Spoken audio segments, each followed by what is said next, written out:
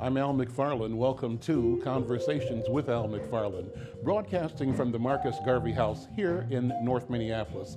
And you know, it's all about the neighborhood. This is a conversation about how we build our community, our neighborhood, house by house, family by family. We're focusing on business creation, business development, economic development, and culture.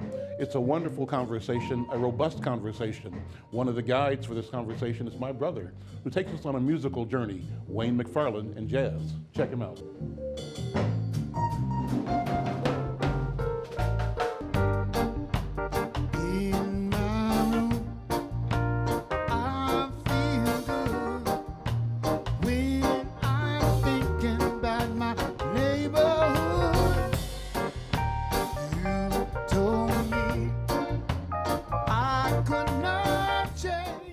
Al McFarlane. Welcome to Conversations with Al McFarlane. The topic today is art, uh, ownership of art, participation in art, being reflected in art, uh, discussing art. I've got a great panel of art leaders and artists to talk about the question of art in our community. The, the range will be a discussion about individual endeavors to how arts organizations can collaborate to support, promote diversity, inclusion, how all of that together is, um, in my view, a way we have to lead towards developing the kind of community, the culture, society that we want. So I'm pleased to have a wonderful guest today. Elsa Perez Vega and Maria Isa are here on behalf of the Ordway Theater. And we'll talk about what's happening at the Ordway and what's happening in the community.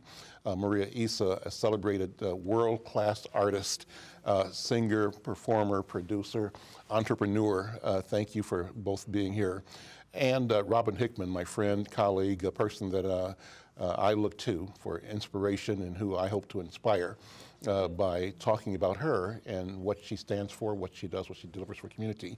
Robin Hickman is also uh, one of the associates and consultants at Ordway, but today I have her here representing her own brand, Soul Touch Media. Uh, she's got a great concept, and the concept is that we should be at center stage taking our place. We'll talk about that. Also, I'm pleased to have Rishi Donat here. She is uh, HR director at Walker Arts Center, but she's leading that organization in its relationship with 10 or so other major arts houses in Twin Cities. And together, they are intentional in exploring what it means to be aware of diversity in the community, about the shift in demographics, the shift in awareness, and how we treasure and value uh, all of the artistic gifts that different elements of community bring to community. Also here uh, is um, Cla- is it Carra? Carra. Carra, yes, thank you. Carra Martinez. She's Director of Community Engagement at the Guthrie Theater. Guthrie, obviously, uh, another major arts force in Twin Cities. So I'm pleased to have this conversation. But I want to start with uh, uh, Robin. You and I go back, Robin, talking about the need to uh, ask major arts organizations, not to ask, but to engage them uh, on terms that we set about who we are and what our relationships ought to be. Let's see you and I have this conversation first. When we talk about the history, the history, from my point of view, is that major arts organizations uh, sort of reflected and were holders of European sensibility. And art was European, art was white, and what we were doing in community sort of was at the margin, not acknowledged, not engaged, not supported, uh, not funded, uh, not applauded. Uh, your voice and mine and others like us, your, your uncle, Gordon Parks, uh, stood in objection to this uh, uh, either intentional or not intentional effort to marginalize us. And as a result, uh, I think the market is changing, hearing and listening. What do you and I talk about, about the need for our people to define who we are and to declare uh, our visibility and our genius to the world? Well, it, we must do it, especially for such a time as this. And I was raised to understand the power of the arts. Um, through the years, I've heard people talk about artists as the modern day prophets. And our organizations are those stages, are those galleries, are those places um, for that uh, artistic prophecy, prophecy to be shared and touch the souls of people. Um, my mother uh, always used to say, if I pay taxes and my tax dollars go to these arts organizations and these uh, cultural organizations, then my children have a right to be there. And so in that, she's inspired um, work that I do with the Ordway, taking our place center stage. That's all, you know, kind of um, inspired by mom's philosophy. Um, it's very aligned with Sally Ordway. When they built the Ordway, her, her, her commitment, or she wanted the commitment to be that all people uh, take their place and, and come through the doors. And they've done a great job. It, and with yes, and with that commitment, uh, community treasures like Elsa Vega Perez sat on uh, advisory boards and councils to m- ensure uh, the the authenticity of that community engagement, community partnering. So whatever I'm doing there, it's building on that foundation. El- Elsa, jump in. Uh, Sure, Thank you for being know, here. It's, thank you, thank you for having me. This is a great conversation, especially during the turbulent times that we have in our society today. But um, when we first started at the Ordway, it was uh, an invitation to get them more informed about what our community's needs were. And at that time, there was a thrust for funding. So funding was made available. We created advisory groups. We influenced the center. And then all of a sudden, it kind of went with the money. So it's kind of the consistency needs to be in, infused in the organization. We need a budget. and, and I have I've worked in different capacities since 2005. I think it was when the Ordway with VocalEssence presented the Witness Program honoring Gordon Parks. So that's when I kind of came in the, into the mix. But more formally in 2010, the St. Paul Foundation funded uh, a partnership, funded a partnership between Soul Touch and the Ordway to come together and create this initiative. Um, they funded it for a few years, but because of the co- commitment and Patricia Mitchell at the time, they said we have to keep this cannot be a one-time situation and then we move on because the funding may not be there. So I think that demonstrated the commitment. But taking our place center stage is not just about getting people in the seats.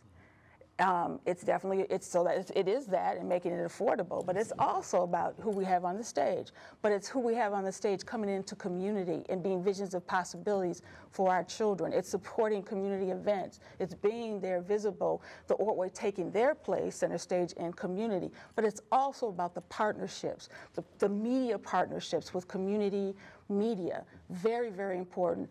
It's, and it even goes as far as who do we use as caterers? What vendors do we use? So it's it's you. We can talk racial equity in the arts, but unless we're talking about economic equity um, and connecting with community, so the community can participate in the arts, you know, then we're doing something. So it's been, yeah. So, you know, the major uh, art houses have been meeting for a couple of years, I think supported by uh, both a call and, and funding from, I think, General Mills and Target uh, and others, I think. But they have convened uh, uh, themselves to uh, examine the question of equity. What does equity mean? What do demographics tell us about our capacity to bring our product, our gifts to the public to engage and reflect the gifts of the public to the public. Uh, so, so, Rishi, tell me about the organization. Uh, you know, Walker, number one, is one of the leaders of this. Uh, Yeah, so, so there were 10 large cultural and arts organizations that came together in response to really community concerns about equity, access, and the arts. Um, and it started conversations at the highest level with the organizations. I think it, it's been a, a learning venture through the organizations, but what this consortium is, is it's, it's come together to one, acknowledge and recognize that large cultural arts organizations have, first of all, a way to go, um, as well as a really good opportunity. Um, we know that one institution can't be everything for everybody, but as a community of institutions who serve a great public um, and communities that, that we'd hope to reflect, that we can come together and perhaps leverage resources um, and really just be a better community to serve our greater community. A lot of great things happening at Walker Art Center. Major reopening, right? Uh, yeah, it's a very exciting time. Talk about it. What's going on at Walker right now? Well, I, you know, like I wish I could talk to all of it, but um, we're right now redoing the sculpture garden, so it's going through a major renovation. Really exciting. Um, on June 3rd, we'll be opening up to many new art um, artworks within the garden itself. We have a whole new landscaped uh, hillside, a new entrance, and hopefully a new face and a new voice within the community um, when we do reopen in June. What does diversity and inclusion mean at the Walker Art Center? What, when you have your discussions internally about how this institution should um, both reflect and engage uh, the community, the diversity, what does it mean? That's a really broad question. Um, you know, I, I, think that for us, um, as well as a lot of the organizations that participate, which is a lot of the organizations around the table, diversity and inclusion, um, you know, the Walker believes that uh, it's important to have many voices. Uh, it, it, just makes for a better experience. And for diversity and inclusion, it's within the workplace, it's within artists, it's within board, it's within community. It's about um, really, we could better serve the communities if we better reflect the communities. Um, the, the organizations, the consortium of organizations, you know, employ probably over 3,000 individuals within the, the Twin Cities. And we serve over what, about 5 million individuals. I probably shouldn't talk specific stats. Oh, sure. Well, please do. Yeah, um, yeah. But, you know, the, the imperative and, and the influence that we have to affect change and to really um, impact the audiences we want to serve and, and be that catalyst for the artists is really here and now is really a good time for this. I mean, it's, it's the time that we have to use our voice and our influence. Carra Martinez, thank you for being here. welcome. Representing the Guthrie Theater. You know, I met Joseph Haj, your new director. He's about a year, two years in Two now. years in, two years in. Great guy, wonderful conversation. Uh, and I remember sitting with him and uh, Joe uh, questioning uh, how Minnesota, how Minneapolis and Minnesota, uh, how they are sincere or not so sincere about diversity. He raised questions about uh, the the possibility or the likelihood of uh, the old wink wink approach. Yes, we're talking about diversity. Yes, these are our principles, and then wink wink, keep doing business as usual. And I think I heard him say that won't be the way we do business in the future. How is business being done now at the Guthrie? Well, I think one thing that Joe also does in that conversation is point towards the smaller arts organizations who aren't a member of the large, um, the large forum, large arts organization forum, but Intermedia Arts, Mixed Blood Theater, Mu, Penumbra, who have historically been doing that work, and we want to honor. He's he's very interested in honoring and naming that there are many smaller organizations who've been doing this within their communities, in community centers, in in culturally specific areas of the Twin Cities that they've been there, and that's been their lifeblood, and and so that that's always been taking mm-hmm. place. Perhaps it's been less so, and definitely it's been less so in large in larger organizations that are historically white. Mm-hmm. So Joe himself is Arab American. He identifies as a person of color. His parents are Palestinian immigrants. He grew up with a kind of what I think of as like a tactical thinking process as a person of color. How do you learn to navigate large institutional structures that aren't interested in being in conversation with you? So, so that's a skill that he has. And bringing it to the Guthrie, um, he's thinking about about that kind of shifting of the organization in, in multiple ways. We're in a process of restructuring our mission and vision, but one of the things that he established very early are four core principles, and, and some of them are expected. So, artistic excellence. I think, though, we're trying to problematize who gets to define artistic excellence and what are the cultural traces within the word excellence. Um, fiscal responsibility. The Guthrie receives an incredible amount of public funding, and we should be fiscally responsible with that money. The two changes that Joe has instituted are holding equity, diversity, and inclusion as a core principle and holding community engagement as a, as a core principle. So community, in terms of community engagement work, I was a new hire. I've been there for six months. So, so there's now a position and, and a funding stream focused on community engagement processes at the Guthrie. In terms of equity, diversity, and inclusion, we have quarterly staff meetings now that are dedicated to discussing that idea. We have people, we have different affinity groups, people of color affinity groups, women affinity groups, et cetera, that are operating within the building. Um, one of the ways I think it's quickest to operationalize those ideas is to change your hiring practice. So now at the Guthrie, we leave hire, we leave jobs open until a, a deeply qualified, diverse pool of candidates has been identified. And so you walk around that building, the staff looks a little different. Um, you see that at play in the staff itself, in the creative teams, in designers, in actors, and in, a, and in an approach to both the classical work that's being produced as well as the sort of the newer work. So an example of that would be Royal Family is currently up at, at the Guthrie, which is basically a kind of history, comedy history piece about um, the Barrymore family. And initially in that play, there are, there are no folks of color in that play, but, but Sean Hamilton plays, Sean Hamilton, who's a black man, plays the kind of artistic agent to the, this group of female actors.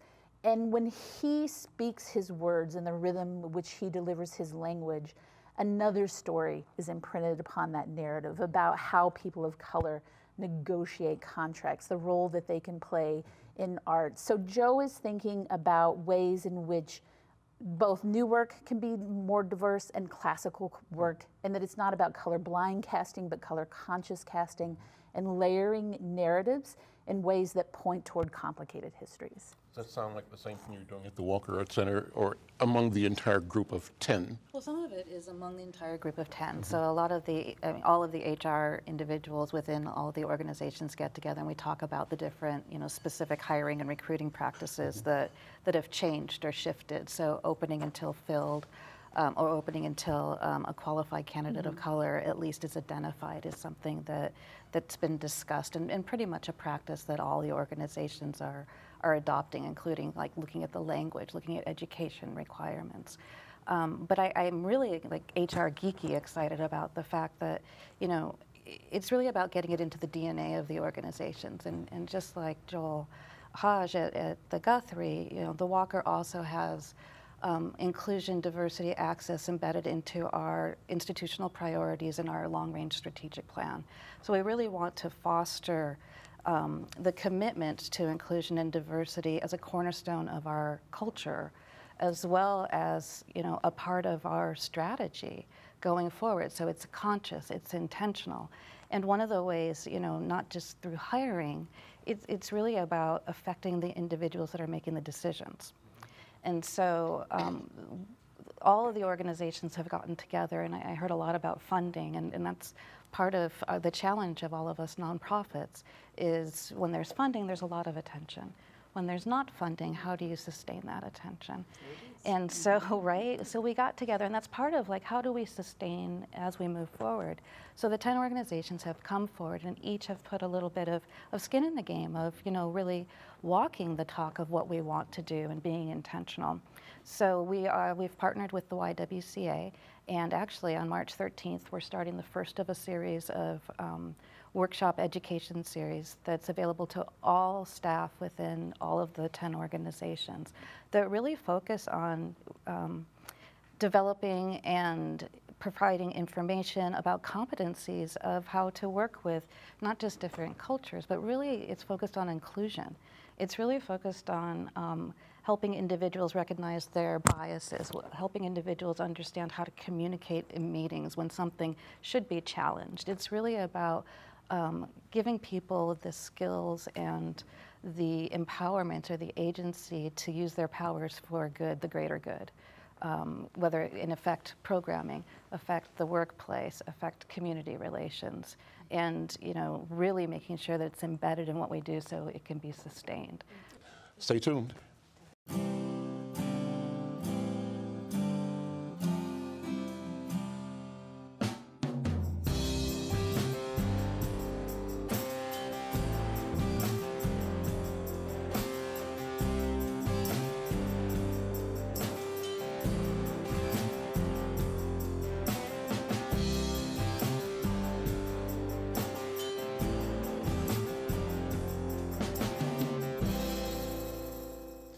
McFarlane. Welcome back to Conversations with Al McFarlane.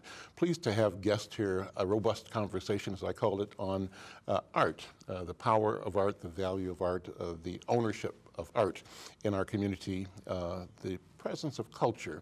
Uh, I keep calling it uh, understanding that culture is an asset, not a liability, and how do we protect the cultural integrity and uh, the, the gifts, uh, the genius of our community.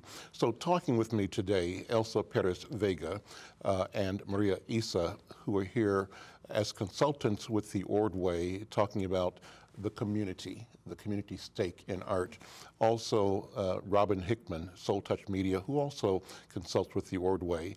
And uh, here today, Rishi Donat, who is with the Walker Art Center. She's HR director, but she's here talking about the organization and its participation in a Twin Cities wide uh, forum of major arts organizations who are collectively talking about diversity and inclusion. That's exciting.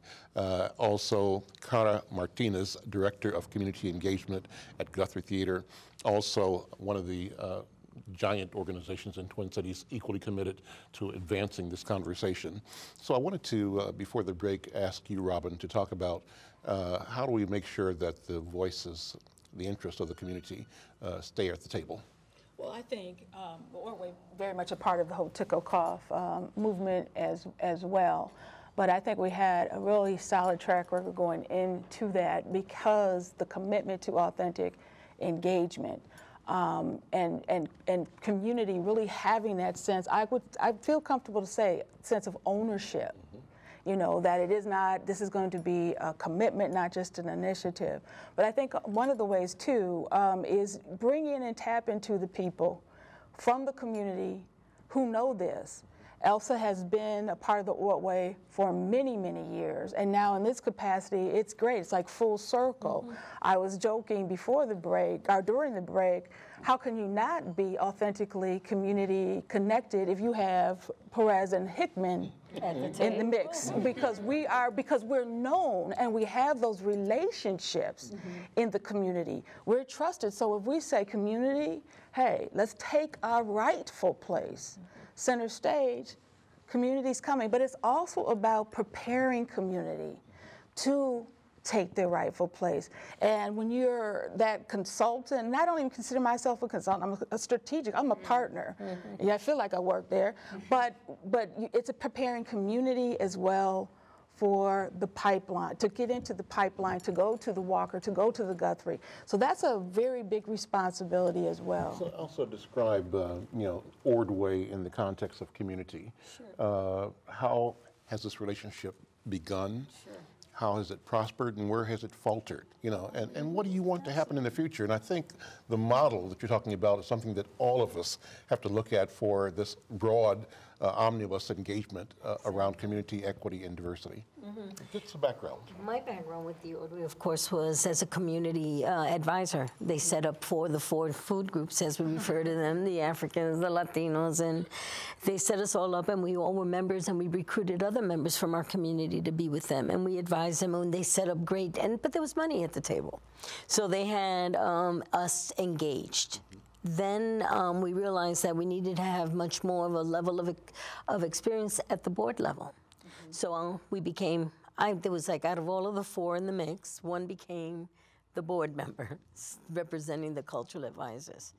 So uh, fortunately, I think, um, what was his name? There was other, there was another board member at the table at that time, Ellis Bullock from uh, his own foundation. Uh, he, he, worked at a foundation, so he was there as well. Yeah.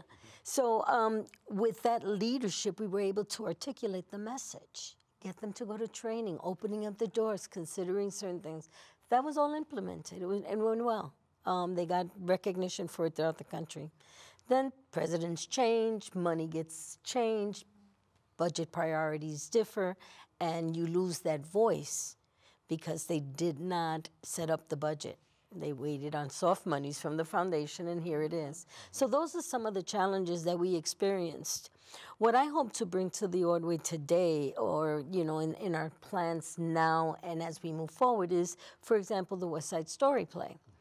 And you know, we've told them we don't we really don't. I love the play myself, but a lot of people in the Puerto Rican community and in the Latino community see it as a stereotype, and you know, Latinx people may look at it differently. So we've brought the conversation forward. They, instead of reacting to the possible backlash that this could bring to them, they're engaging in print media and outreach to have a panel so that we can represent what those perspectives are. So that's one way that they're getting at. Then one of the other things is if that they are recruiting us, young Latinos are young, and they're in they're not probably into the Shakespeare again, and so we need to do an outreach that's different. Um, and so that's another effort that they've agreed to. Um, and so looking at ways, but it can't just be for West Side Story. It has to stay in there. The entire product. The whole thing, you know. So okay, we're opening the doors. We're going through the iPods. We're going through the print media. We'll buy subscriptions to those media projects. Um, you know, don't just do this advertising once, but continue to advertise.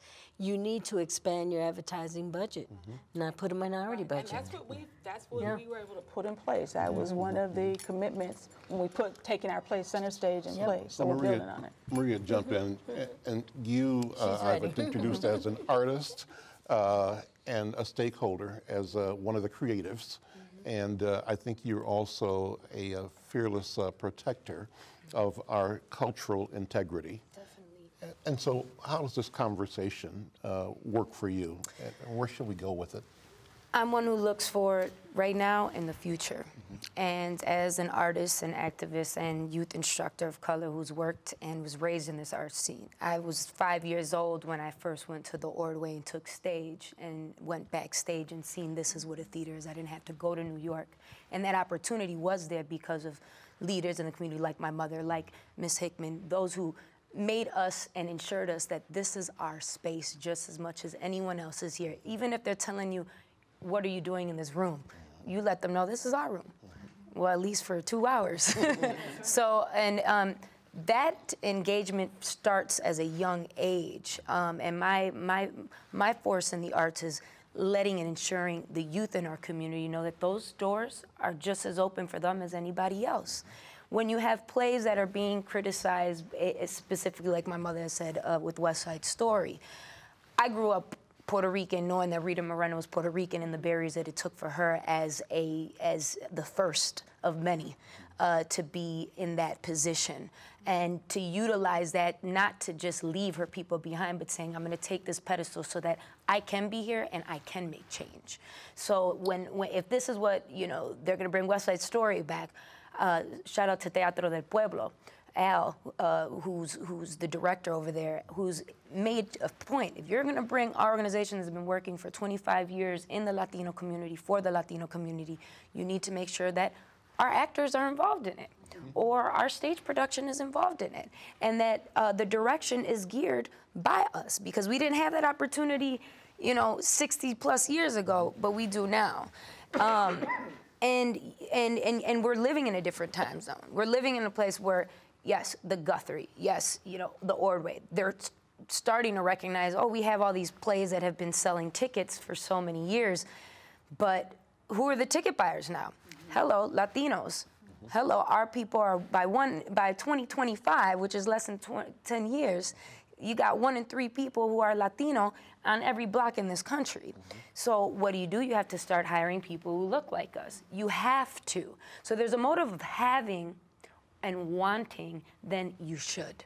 And so my my position as far as working with the Ordway is this is what you should be doing. This is what you have to do.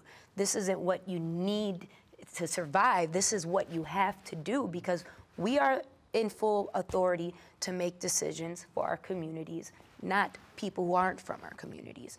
Um, obviously, I've been raised by several artists and activists, so I get very passionate about it. And I think that's another thing. You have to recognize that it takes passion. Um, it takes sometimes, uh, we live in this Minnesota nice world, and when we say something, why are we looked upon as far as POCs and women of color in particular as being this mean? Oh, they're mean, or they didn't have to say it that way. And it's like, wait a second, no, we do. We're done playing this card of what's safe. We are here to say this is what's safe. Because if not, your doors are going to be closed down. And regardless of the funding that you're getting that's not funding our projects, no one's going to come. No one's going to show. So, reflection of is take the opportunity of what's there and recognize that it's yours and determine that level of respect that you deserve. We're done waiting. What about uh, our art? Uh, I want to ask you and Robin to speak as artists. Uh, and how do you feel things have changed and or must change with the society both uh, recognizing, uh, hearing, responding to your presence, your energy, your voice, your genius? Uh, the question behind the question is that uh, as often as not, uh, our sensibility has been ignored. And uh, there has been a willingness to museumize our life as if our bodies uh, and our presence and our, our livingness doesn't matter. What do you mean, Al McFarlane? I say this uh, often. Um, I say that uh, you know white people love Africa, they just don't like the Africans, right?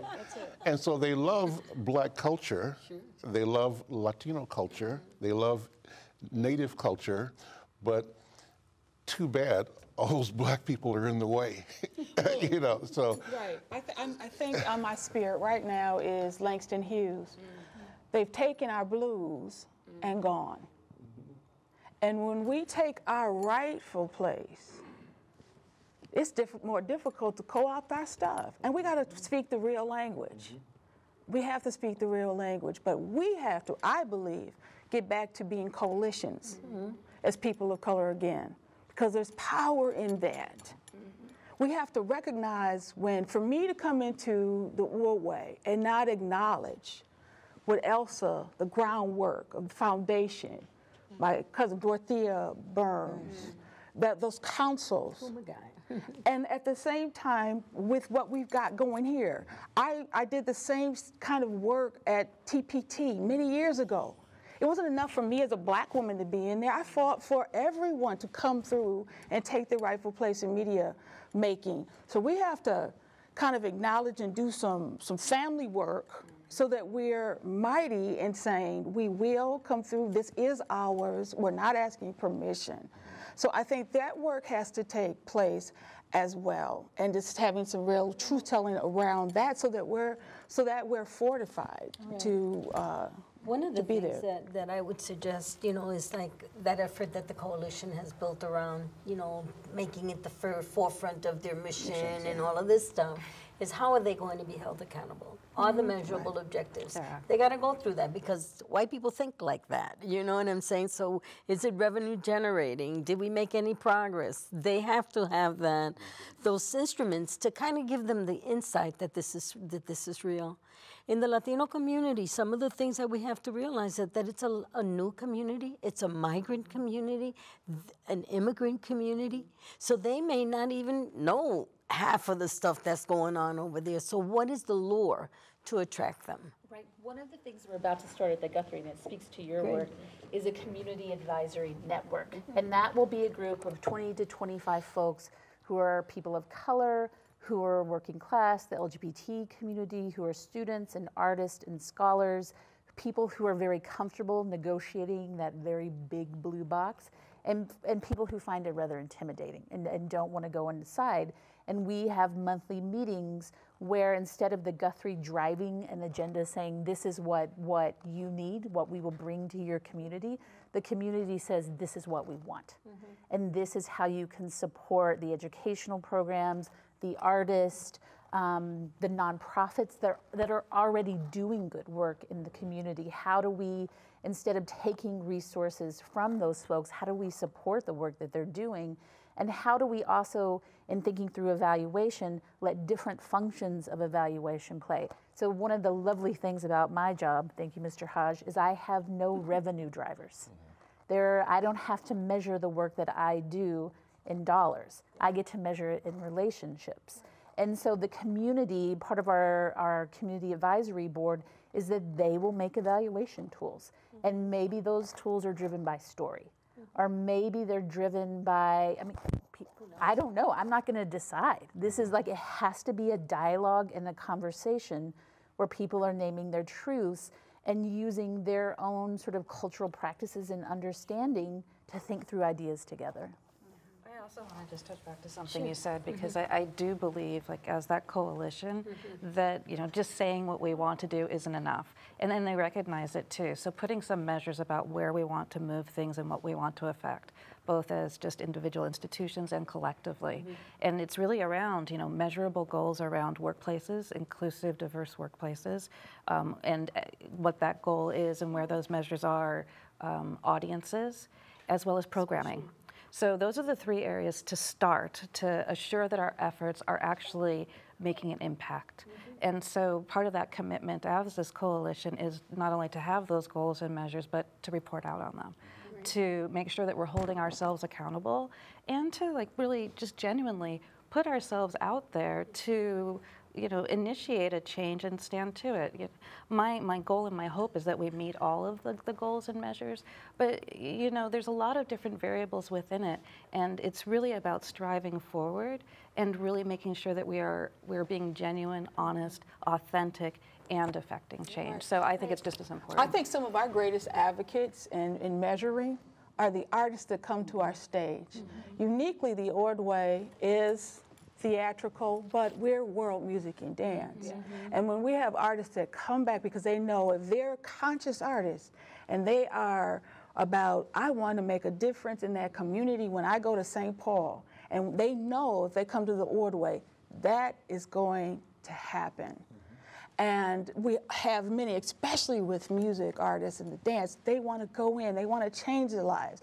Well, how can I impact that little girl who might be caught up in sex trafficking?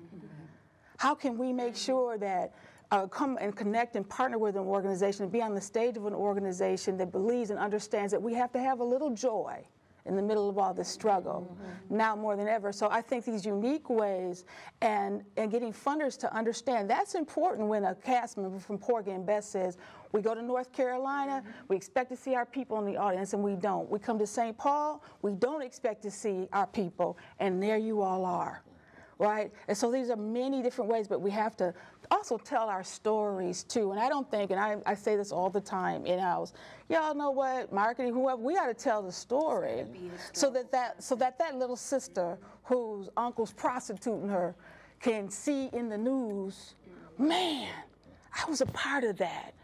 I was a part of that place.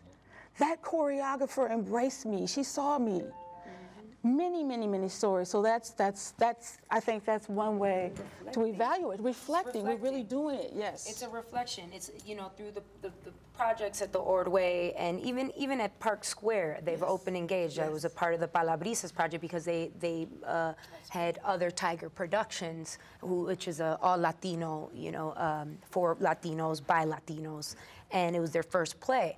Uh, it, it brought everybody from different organizations, different theater backgrounds, artistic backgrounds to say, wow, this is all here. And it's like, yeah, you've got over 30 years of work in here. And that have been working at smaller organizations for their whatever small grant to at least, you know, pay for maybe half of their project to get done or a third of their project to get done. But we make it happen in our communities. It's, it's that engravement of even if, if we don't have it, we still gonna get it done or we gonna find it because that's how we do it. But it's trying to recognize where if you do have it and you do see that, you're and you're and specifically if you're not a person of color, you're entitled. You are entitled to support that. That isn't a decision to be made. That is your privilege as a white person to say, I am going to give this kid a scholarship, or I'm going to donate 30 tickets so that your classroom can come see this play. If and and and what does the play reflect anyone in our class? Mm-hmm. you might have something like the Christmas Carol, which is Charles Dickens, but that doesn't have a same reflect just because it's a black or an Asian or a Latino playing in the play. That black, Latino, and Asian kid that is in the crowd still does not get into the story. They get into the actor. Mm-hmm. Praise the actor for being there and working hard, but we're not giving our own stories. And for people to say, well, where are they? Let's They're come there. back. Let's come back in a second. I'm Al McFarlane. This is Conversations with Al McFarlane. You know, we're going to continue. I want to focus on vision and dream. Uh, what do we hope? Uh, what do you see in your mind's eye as the uh, impact of uh, the organizations, uh, of the relationships, and of the individuals. And uh, so come back. You'll enjoy the balance of the conversation. I'm Al McFarlane. This is Conversations with Al McFarlane.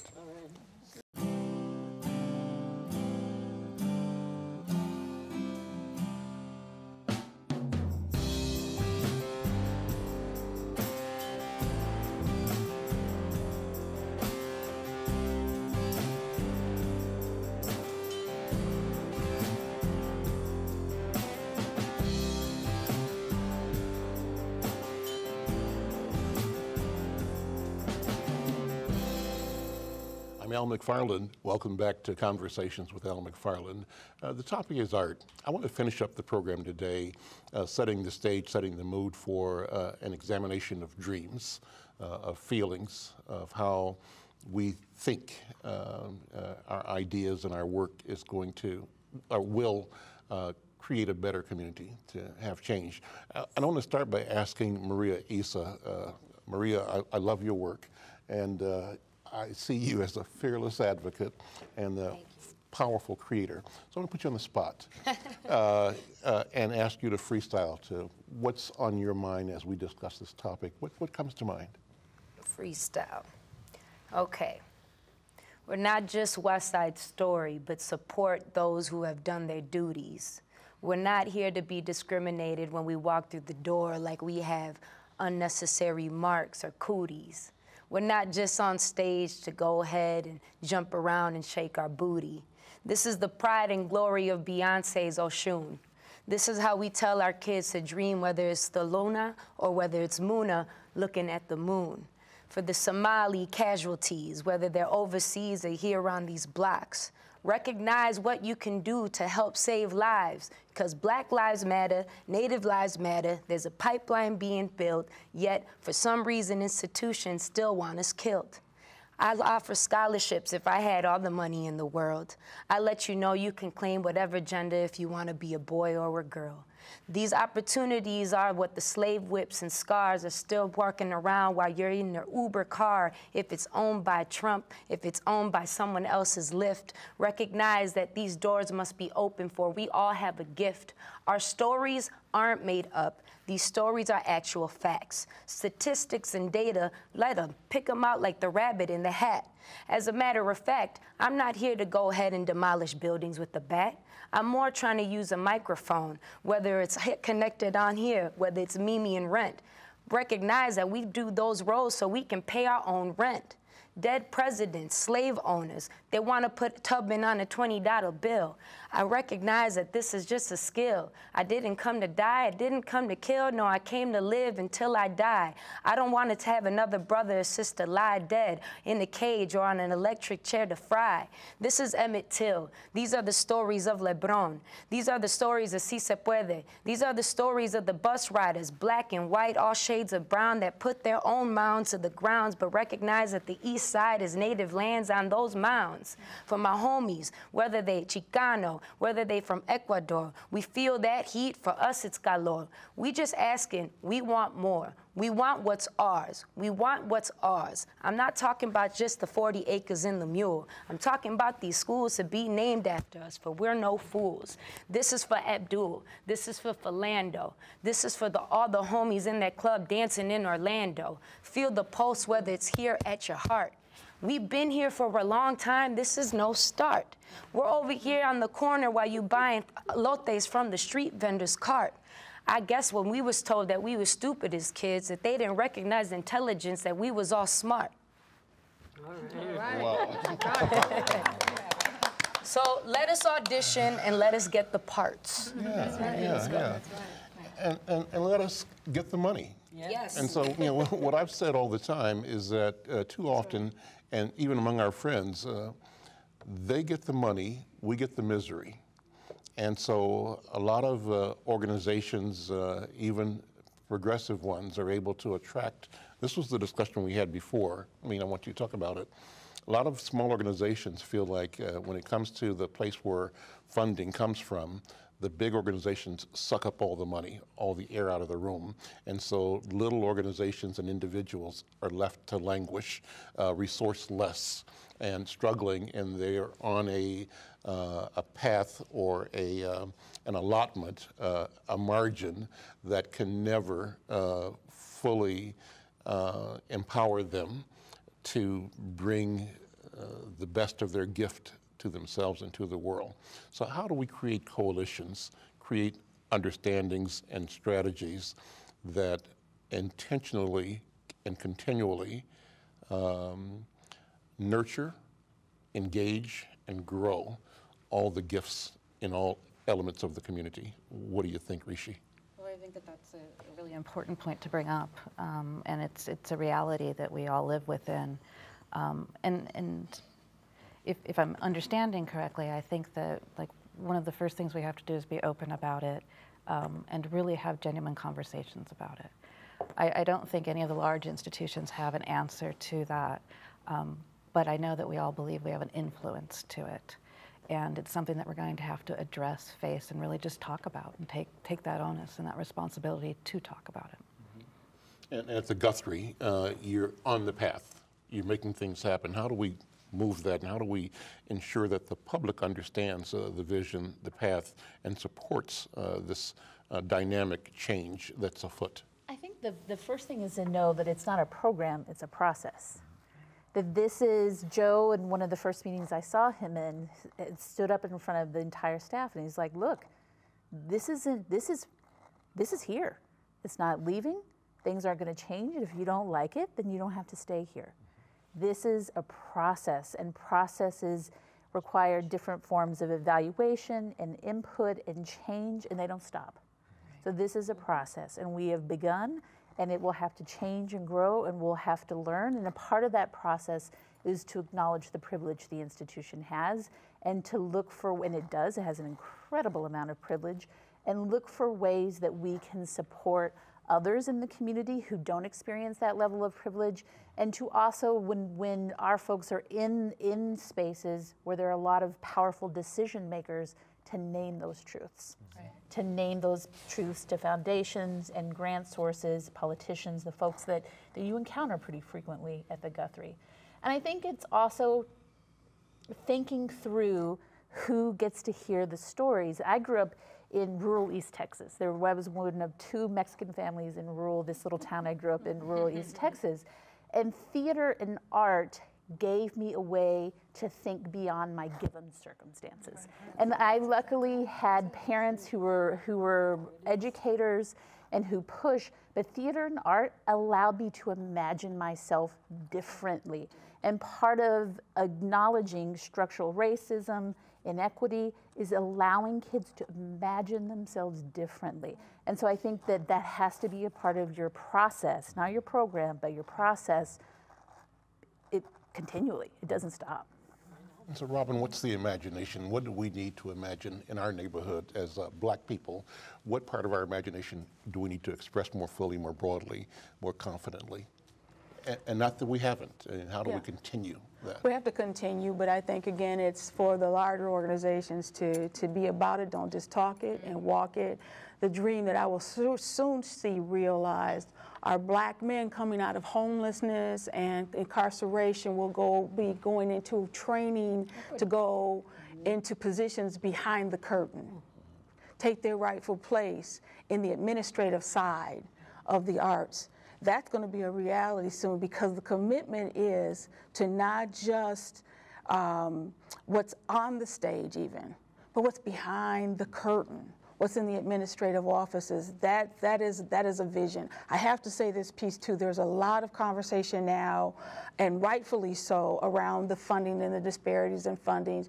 And there have been calls because of certain productions that I will not name, defund the Ordway, defund the Ordway, and but if you don't know that that defunding is going to impact folks who have made strides, it's going to impact those those young people who see visions of possibilities. So we have to, you know, kind of get a little handle on that there. And going back to my mother, my mom says, yes, I have a right to go into those big places too.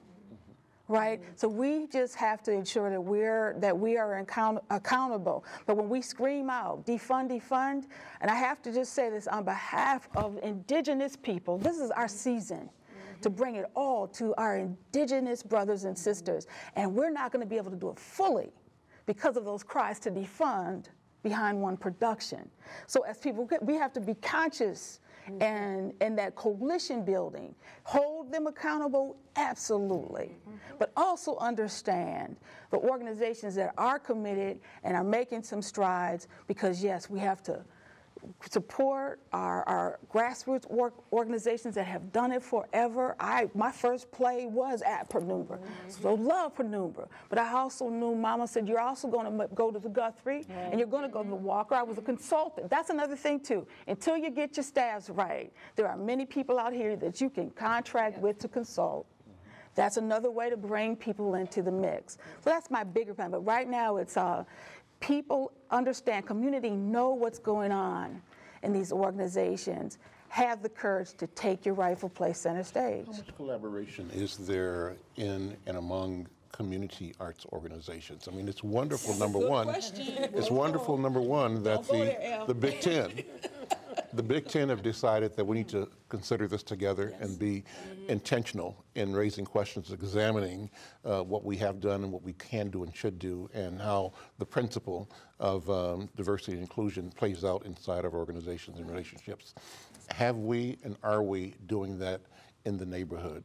And, and if we haven't, should we? I think we should because you talked about the competition thing, and we need to, you know, we better break through that. I'm And not so, sure. so the model Yeah. may be what, what, what I've been doing already in media. You know, we have the Minnesota Absolutely. Multicultural Media Consortium, Black, Asian, Latino, Native American media properties working together to bring value to our readers, to our communities, and to our partners, and to businesses and government. But perhaps there ought to be uh, an affiliation, an organization of cultural arts organizations that, number one, uh, identify the impact and the power uh, of our communities as ticket buyers and also as creators of music and able to negotiate uh, uh, equitable share of resources that are there to support art. Just an idea, and that could happen not not not against, but in partnership with. Because you talk about how you treasure and value the work of the other organizations that aren't in the top ten, but they are absolutely essential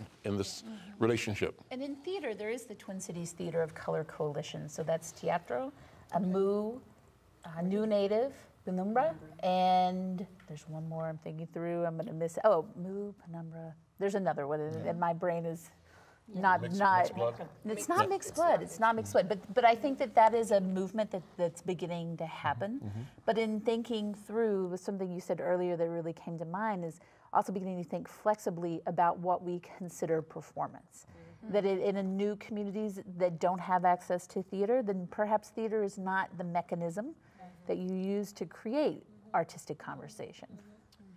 I'm thinking about uh, even uh, the neighborhood level, neighborhood movement, neighborhood and community organizations. What roles can they and should they play in, uh, number one, recognizing talent, genius, gifts inside uh, the populations that create these neighborhoods and, and communities? They serve as, like, as a platform because a lot of a lot of you know a lot of artists, specifically independent artists, they don't have an agent. Mm-hmm. They don't have someone that like nuts that's going to call them up and say the Guthrie has these open uh-huh. auditions coming up. Go in, mm-hmm. and but we do have these organizations and even collectives. Mm-hmm. I'm a part of a Latino collective that's on the west side of six other artists that have individual different art forms, and um, we our role in that community in that establishment is to find what opportunities are there for visual arts? What's funding there for music? How can we connect with another art organization like TOCP? You know, you know. Uh, so it's it's just it's just having that conversation and that dialogue. What, what, when Minnesota uh, funding for the arts calls, well, why aren't any Latino artists and black artists applying for these grants? And we're going, you think they, they there's no one flying us down to apply these grants? Some of us who do apply is because we've been there fighting for that opportunity. So it's just like you stated, conversation, dialogue, and it can't just happen during the four food group months of Black History Month, Latino History Month. You know, it's got to happen every day. When you say four food groups, uh, I, I laugh at that, I mean, because uh, it goes back to the saying that um, if you're not uh, uh, at the table, you're probably on the table. And, when, and when you said food group, I said, yeah, because we're, we're getting eaten alive, right? And our lunch is being taken, or we're the lunch.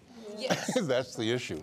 So, you know, this is a great conversation, a great uh, sharing. I think it's wonderful that all of you are doing what you do. Uh, Maria Isa, thank you for your creativity and your, your art. I, I love it. Uh, and yeah, keep keep on. You know, you, you are a beacon and a light, and I think just a powerful and wonderful uh, reflection of what beauty is. So I appreciate it. All work. these, I've, I've worked with all these organizations that you've n- named, uh, whether independently or through other organizations that have been collaborators, and and so f- we we we're giving our experiences, not to say we want to shut it down, we want to divest. No, we want to make we want to make it bigger and better. We want Minnesota to be recognized as not just you know Peggy Sue with the blonde hair and blue eyes. We want it to be. It, it ain't the food groups because we're not gonna be here eating. It's it's it's us. It's what is a Minnesotano. What's a brother and sister that's Minnesotan? You know, it's the two psych Lees. It's it's it's uh, the it's it's it's it's us being able to, like I said, let's eat the food. Let's not eat each other, mm-hmm, right? And um, and I, I'm passionate because I do believe that it can happen. Mm-hmm. I do believe in the work, but the history has to be expressed. Mm-hmm. It has to be seen. We can talk about our history, we can make songs about it, but if it's not celebrated every day, what happens? We become descendants of our own history. That can't happen. So, Robin, vision. What do you want to happen? What's going to happen? Uh, predictions. That we're going to get it together and we are going to see and lift up those artistic prophecies that will touch our souls. Um, and those prophets will look like us, taking our rightful place in this, um, on stage, in the audience, and then behind the curtain. Elsa from the community. What's the vision? What's the hope? I see a whole new um, plays and drama and theater in our institutions. I see new works. I see relevant work um, that includes our history. So, so my vision is what's going further, not relive again the past, moving forward. Listen, we're out of time. This has been a Thank great you. conversation. I want to thank all of my guests today. I'll start by acknowledging and thanking Carra Martinez, Director of Community Engagement for Guthrie Theater. Carra, thank, you. so much. Uh, and then Rishi Donat, who's the Human Resources Director for Walker Art Center, but uh, representing that organization uh, as Carra does in the Twin Cities um, uh, group of uh, large or arts organizations uh, that have created a forum to examine uh, diversity and inclusion. Uh, thanks to Maria Isa, uh, to her mom, Elsa Perez Vega, and to my friend, uh, my queen, Robin Hickman. Robin, thank you. Listen, uh, keep uh, uh, in touch with uh, our communities, uh, our organizations, and our our own voices. Uh, let's be loud. Let's be joyful. Let's celebrate who we are, and let's bring that celebration uh, into uh, you know the uh, sharing with everybody in our community. Uh, join us next time for conversations with Al McFarlane. Good evening, ladies and gentlemen. We got to say good night. We want to thank Al McFarlane for bringing us all those great words and all our lovely guests, all the guests in the house. Everything's good, you know. So I want y'all to tune in every Tuesday morning, right around 9 o'clock. Cause we're gonna play a song. All the guests will be home. We'll be feeling like talking. Have a robust conversation. Cause this thing is safe. The message is clear. Everybody knows we gotta keep it right clear. We just going to talk about the Al McFarlane show.